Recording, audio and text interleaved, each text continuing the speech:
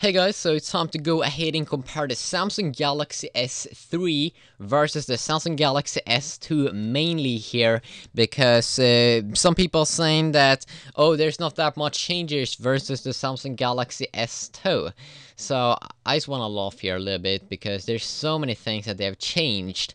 Uh, okay, so let's go over the specs. We also have the Galaxy S here, but we're mainly going to focus on the Galaxy S2 and the new Galaxy S3. So let's talk about the OS first. Okay, of course, uh, we're going to get Android 4.0 on both the Galaxy S2 and the Galaxy S3, but you're going to get the latest Android 4.0 a little bit newer uh, version of Android on, on, the Galaxy S3. But the big thing is the skin. You're getting the TouchWiz 4.0 on the Galaxy S2, but what I saw is that first of all, they changed the name of TouchWiz, so now they only call it like TouchWiz. So I'm not sure if they're gonna be a TouchWiz 5.0 out, but if you have looked on a hands-on video on a Galaxy S3, you can see that they've changed a lot of things with TouchWiz. It looks way more like uh, uh, like Android 4.0 because they've made so much cool changes.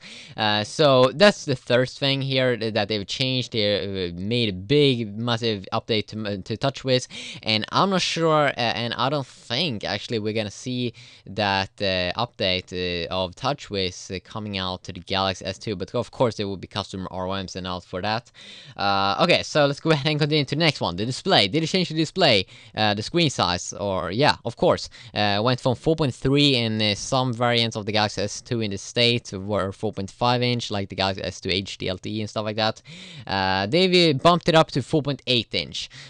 did it change the screen resolution? Hell yeah, they did. They went from 480 uh, times 800 to a full 720p uh, Super AMOLED HD uh, screen. It uh, wasn't a Super AMOLED HD Plus as some some people uh, were e expecting. Uh, so they changed that thing. Did they change the glass? Yes, they changed the glass as well. Going from Gorilla Glass to Gorilla Glass 2, that's even stronger. And I'm not sure if the HTC One X has Gorilla Glass 2. Uh, if someone can confirm that, uh, please let me know in the comment section below. Uh, the CPU, did they change the CPU? Hell yeah, they did. They have the new uh, chipset, the 4412. Uh, but uh, this time, instead of dual core, it's quad core 1.4 gigahertz with the new Exynos 4 quad.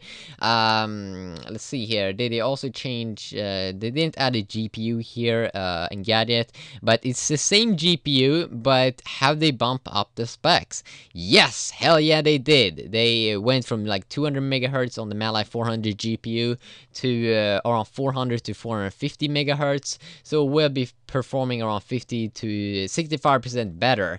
And I'm not sure if you can overclock the uh, you should be able to overclock the Galaxy s2 this much but this will come uh, you don't have to change it or anything. So that's one thing that they've changed as well.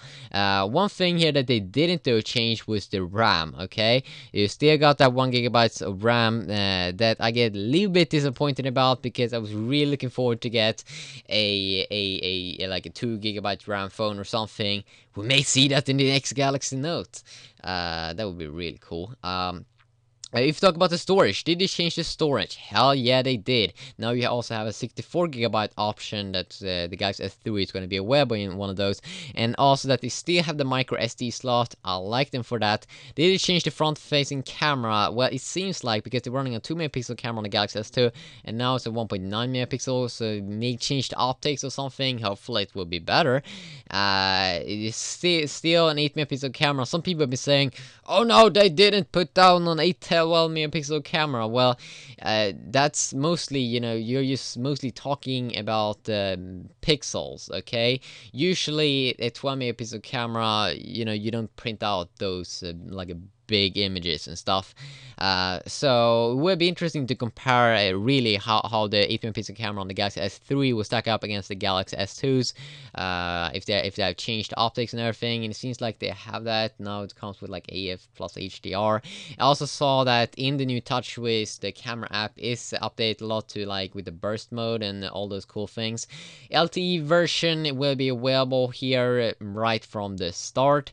Uh, what else? Uh, Wi-Fi Wi-Fi, yeah, seems like they have some new things over here. Bonding, HD 4.0.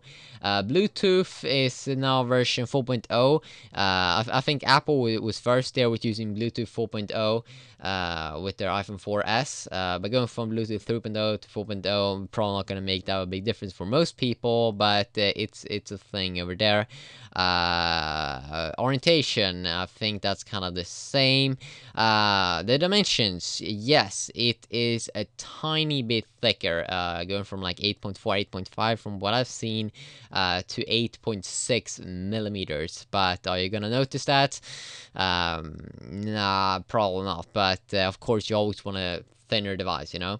Uh, okay, so the weight uh, also the the the 116 grams on the Galaxy S2, 133 on the new Samsung Galaxy S3. But then you should also remember uh, that it, it is a little bigger.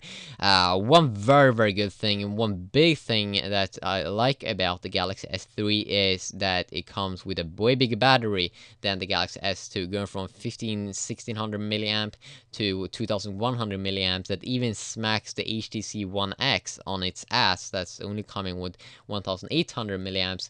But it's going to be fun to see how they stack up. But I think that the Galaxy S3 is going to have a better battery. And uh, so, I mean, they did actually change a lot of things. They didn't change every single spec things, but of course, they they won't be able to do that.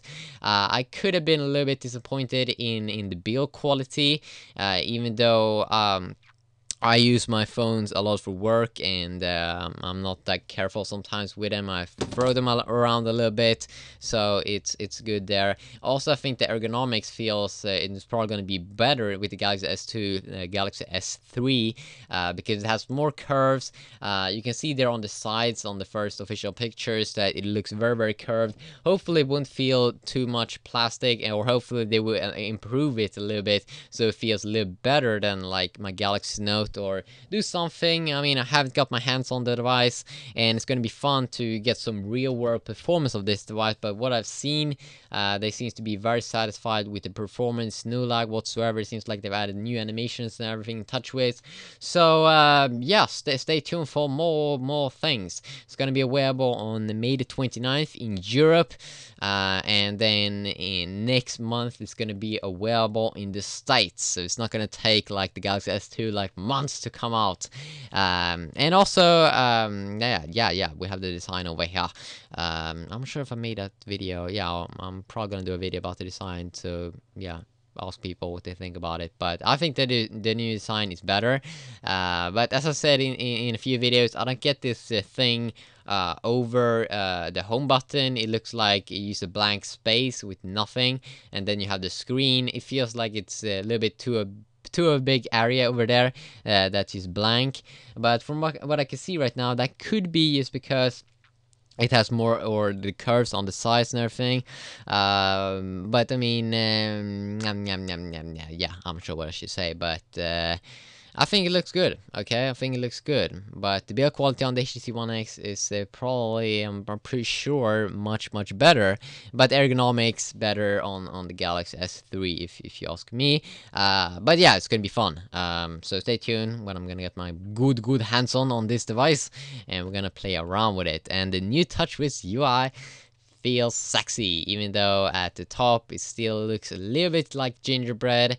Uh, they should probably be able to update that. Um, but yeah, and also I saw that when you uh, hold down and scroll down, put down the notification area, you can now scroll uh, up there in top to toggle a ton of more things just uh, as default, and that's something that I definitely do enjoy uh, yeah, I want to get my hands on on this dirty device, and uh, we're gonna get it pretty soon. So yeah, and uh, this month uh, probably gonna get uh, LG Optimus 4X as well. So we have a lot of new bad boys that wanna come and join the party and play with us. Yeah, um, I'm too high on Android right now. See you.